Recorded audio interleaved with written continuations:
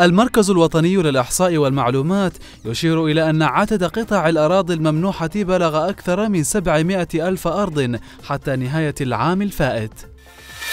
اختتم مخيم إعداد وفد الكشافة المشارك في المخيم الكشفي العربي الذي تستضيفه المملكة الأردنية الهاشمية خلال الفترة من التاسع والعشرين من أغسطس إلى التاسع من سبتمبر المقبل.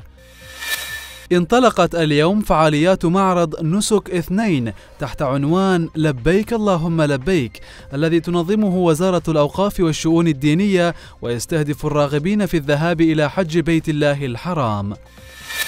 وزارة الشؤون الرياضية تنظم ورشة بلع اللسان وذلك ضمن فعاليات برنامج شبابي في محافظة شمال الشرقية الذي يأتي بهدف استغلال أوقات الشباب واستثمار مواهبهم.